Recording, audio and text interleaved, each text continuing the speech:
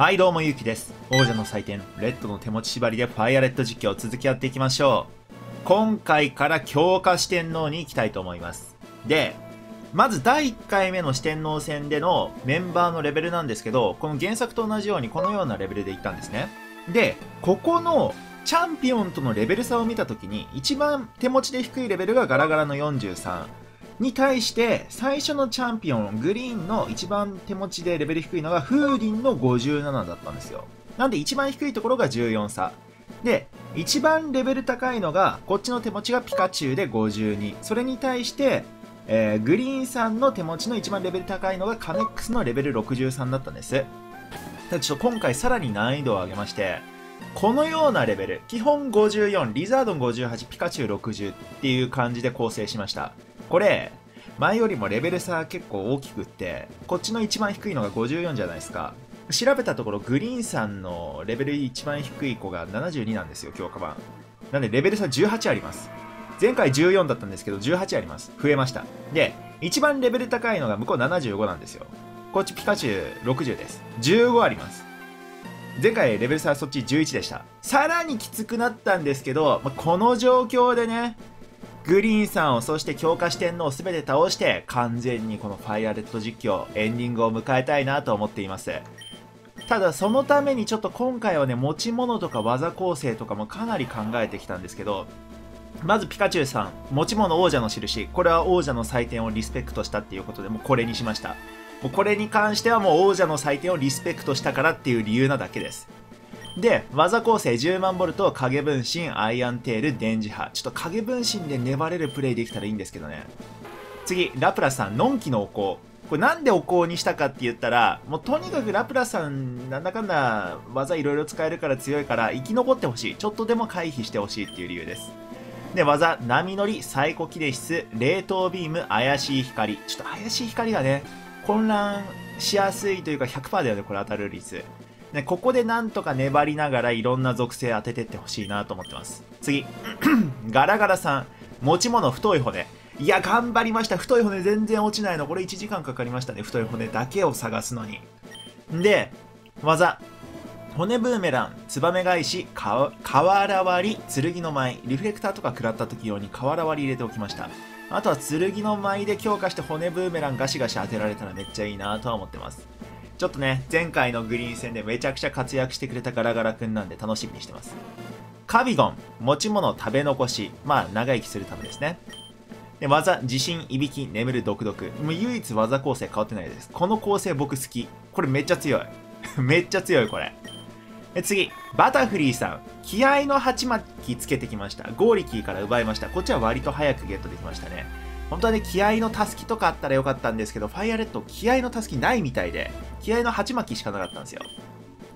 で、技構成一番変わったかもしれない。銀色の風、夢食い、眠り粉、身代わり。これね、バタフリーの複眼っていうのが技の命中率がなんか1.3倍ぐらいになるっていうことなんで、眠り粉かなり当たりやすくなるみたいなんですよね。なんで眠り粉しながら、眠り粉した次のターンに身代わりして、から夢食いで体力回復しながら、気合の鉢巻きと身代わりでなんとか死なないようにしながら体力回復っていう夢食いプレイみたいな感じでいきたいと思っています。はい。で、ラスト、リザード。持ち物、木炭。もう火力重視ですね。マサラタウンで出会ってここまで来ましたよ。おとなしい性格だったんだ、君。全然見ても、性格とか個体値とか厳選したくないんで、僕は。あの、ストーリー実況の時。そんなんじゃなくて、出会いを大切にしたいんでね。あんま見てなかったんですけど、おとなしかったんですね、君。で、技、火炎放射、ホエール、ドラゴンクロー、ブラストバーン。基本火炎放射で攻めながら、渡る戦はドラゴンクロー使えるかなっていうのと、最後グリーンの時にカメックス出てきた時リザードンやばくなるんでホエールで避けようかなって。で、最後もどうしようもない時にブラストバーン放って、リザードンさん退場かなっていう感じでこんな構成できました。さあ、どうなるかないけるかなこの構成。いや、行きたいな。じゃあ、四天王行くか。いや、めっちゃ楽しみなんだけど。とりあえずアイテムだけ先買っちゃおうかな。オッケー、じゃあ準備できたので行きましょうか。この先は四天王と一人ずつ戦うの。もし勝てたらドアが開いて奥の部屋に進めるわ。頑張って。頑張るぜ、お姉さん行くぜ。カンナさんよかったね、七島でロケットナいなくなって。ポケモンリーグへようこそ四天王のカンナ帰ってきたわ分かってるでしょ？氷ポケモン使わせたら右に出る者はいないわですね相手を凍らせるってとっても強力よ。だって、凍っちゃったらあんたのポケモン、全然動けないんだから。はは、じゃあ覚悟はいいかしら？やろう、カンナさん。やろう、カンナさん。さあ、超えんだよな、カンナさん。で、かあの強化四天王は64高いな強化四天王は基本ポケモン6匹使っていて若干技構成とかポケモンとか手持ちとか変わってるみたいですさてじゃあ一旦電磁波行きたいな電磁波でまひらせてうわー影分身向こうも使ってきたちょっと待ってまひってる間にこっちも影分身しておきたいんだよねカンナ戦はちょっとピカチュウいっぱい活躍してほしい感があるんで影分身なんなら5回ぐらい5回ぐらい、ちょっと待って、そっち影分身するのダメでしょ、それ。ちょっと困りますよ。まあ、こっちがしといてなんなんですけど、3回ぐらいにして攻めちゃった方がいいか。よしよしよし。でも、痺れて動けないがかなり入ってくれてるのは助かってる。いいや、じゃあ影分身もうちょいしちゃう。ちょっと待って、影、ちょ、ちょ、ジュゴンジュゴンダメだよ、ジュゴン。そんなに影分身しちゃ。ピカチュウさん、人のこと言えないけど。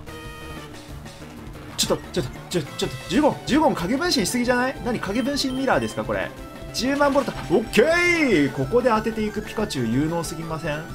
ちょっと待って待ってもういいじゃんもういいじゃんもういいじゃんもういいじゃんもういいじゃんおえー、でも当たるピカチュウの10万ボルトすごよしよしよしよしよしいいよいいよいいよピカチュウナイス回避え？影分身めっちゃ入れてあー回復されそうやだやだここで回復するよねだよね回復するよねそうだよねいや、そうだと思ったけど、そうだよね。回復するよね。うわちょっと待って、こっからな。一回電磁波入れたいな。入るかな。ああ、外れる。ちょっと待って。ちょ、もういいでしょ。もう、もうさすがにいいでしょ。もうさすがに多いでしょ。よしよしよしよし、電磁波当てていく。オッケーオッケー。およしよしよしよし、波乗り受けた。波乗りを避けるっていう現象がもう分かりませんけどね。うんザバー波来るんじゃないのみたいな。どうやって避けたの君みたいな感じしますけど。オッケーオッケーオッケーオッケーピカチュウピカうちうちのピカさんさ命中率高くない？だってジュゴンえ？6回ぐらいこの人影分身してますよねあああやばいやばいやばい耐えるよしよしよしよしよしよしよしよっけオッケーオッケピカチュウめっちゃ頑張った最後急所当てたよしよしよしよしよしよしピカチュウナイスよく頑張ったオッケーオッケーオッケーオッケーオッケーオッケーオッケいやここまでイノムーが来た。イノムーってなんか岩とか地面とか書いてなかったっけこいつ電気効かないよね。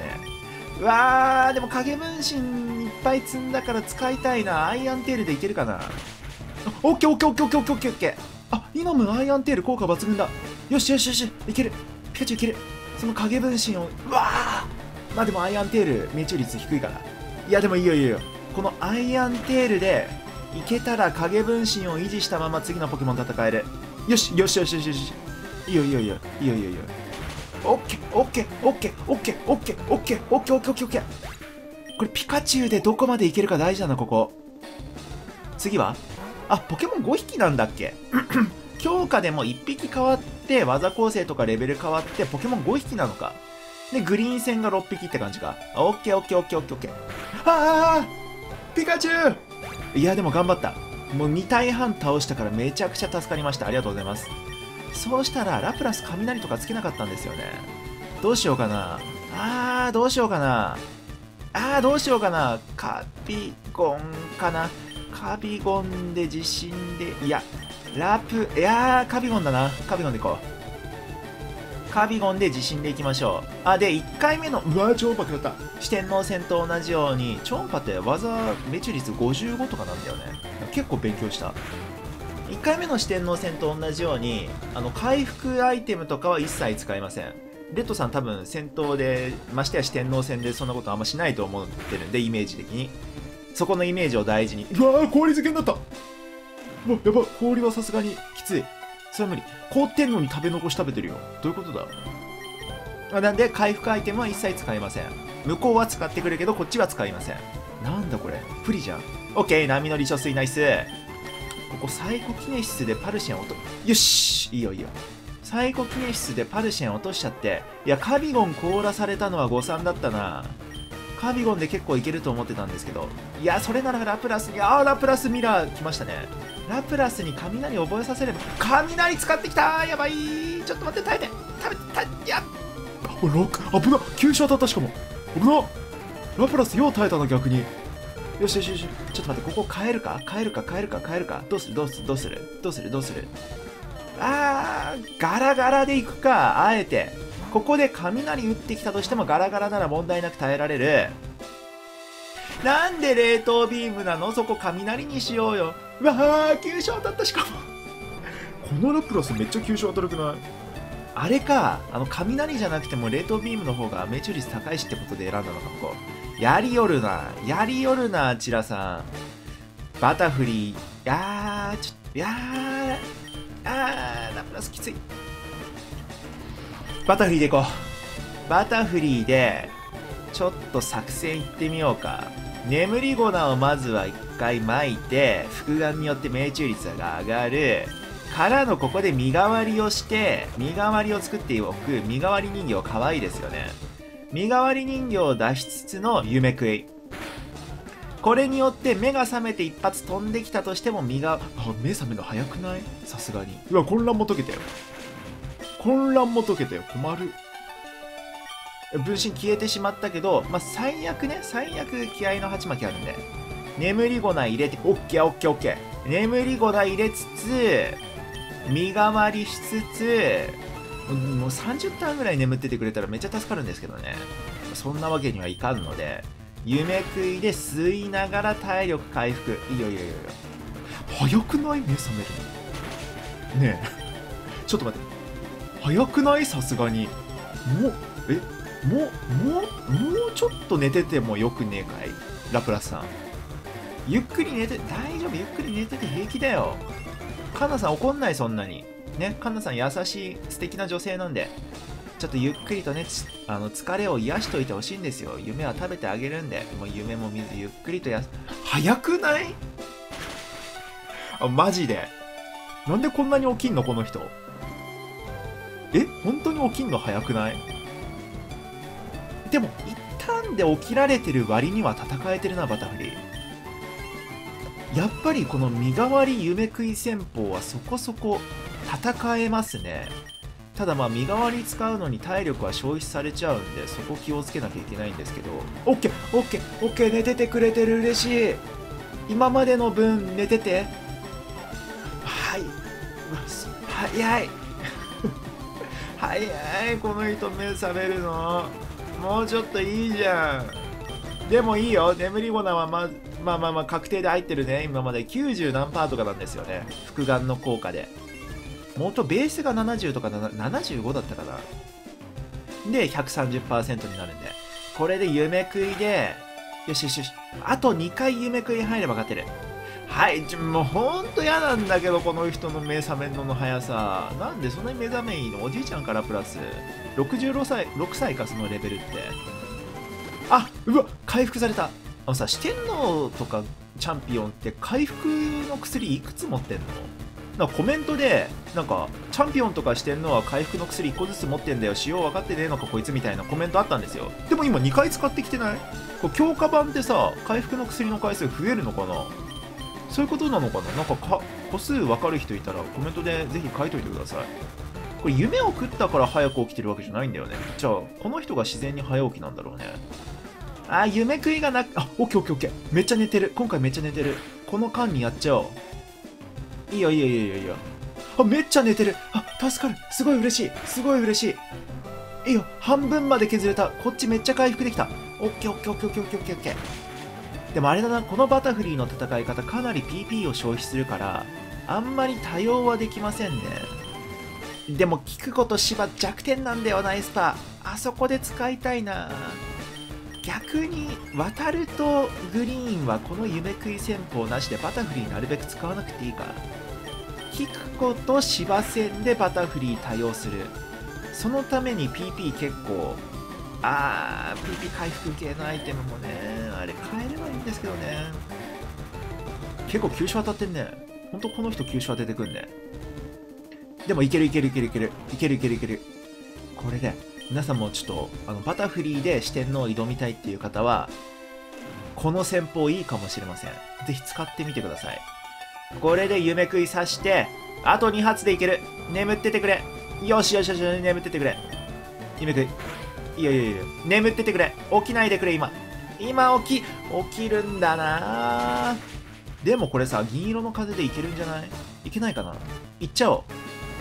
ここで銀色の風。決めたねバタフリー。オッケーナイスバタフリー。よしよしよしよしよしよしよし。バタフリーでラプラス倒せたのは相当でかい。ルージュラポンポンルージュラポンか。ルージュラルージュラこの戦法。この戦法刺さらない気がするな。ルージュラの方が早いのバタフリーより。マジで？それは予想外です。そうしたらリザードンでリザードンさんでブラストバーンでワンパンできるかな？火炎放射でもいいんだけど。ブラストバーン行ってみよう。氷タイプだから結構入る。オッケー！ナイスリザードンかっこいいその決め方はさすがに。よしよしよしさすがですね。なんてことなの？いやーあなたのラプラスの目覚めの良さもなんてことなんですよ。少しはできるみたいね。分かった。次の部屋に進むといいわ。ポケモンリーグ真のパワーはまだまだこんなものじゃないわよ。オッケーじゃあ一回回復します。オッケーじゃあ回復すんだんで次行きますか。ウーハー先輩です。うちのパーティー一番苦手なのかもしれない。ウーハー先輩のパーティーが。俺は四天王の芝。人もポケモンも戦い鍛えればどこまでも強くなれる。俺はそんな鍛え抜かれた格闘ポケモンたちと共に生きてきた。そしてこれからもなレッド俺たちのスーパーパワーを受けてみるがいい。うんはあ。行こう。ウーハー先輩行こう。えウーハー先輩がイワークがハガネールに進化してるみたいなんでそこのハガネールをこっちは OK 来ましたね。ハガネールをこっちはリザードンでうまく落としていきながら戦っていきたいところです。まず火炎放射でいけるよね OKOKOKOK うちのリザードの火炎放射かなり攻撃力高いんで。ここでまず倒しちゃってエビワラは怖いな雷パンチとか打たれたら怖いからな。ガラガラでいくか。格闘あったらカビゴンもやばいしね。ラプラスでもいいけどラプラスは最高記念室あるからなるべく温存しておきたい。ガラガラでいこう。ガラガラで、岩なだれ。オッケーオッケーオッケー。剣の舞する余裕あるかな？打っときたいよね。剣の舞一回使って、使って骨ブーメラン行きたい。オッケーカウンターナイスナイスここで剣の舞はマジでナイス。ここでじゃあ骨ブーメラン打って、もう一回剣の舞、あ、え、強っいや、太い骨効果さすがですね。持ち物太い骨あるとなんか物理攻撃が倍になるんだっけ？ガラガラ。確か。めちゃくちゃ強いアイテムなんですけど全然落ちなかった。怪力？もう切り札出してきた。マジか。うちのガラガラさんの強さを認めてくれましたね。骨ブーメラン。よし！よし！バカ！バカ！一緒やんけ！一緒やんけそれじゃ。ブシよし！オッケーオッケーオッケーオッケー。さすがに当てた。さすがに当てた。え強くない？ガラガラ普通にマジで。